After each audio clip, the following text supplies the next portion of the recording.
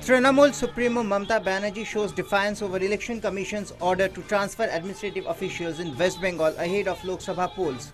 The EC ordered transfer of five superintendents of police, one district magistrate, and two additional district magistrates.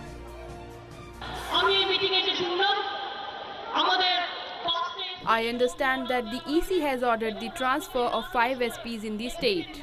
I respect EC, but that does not mean I will accept everything that you say. How long will you act under the influence of the Congress?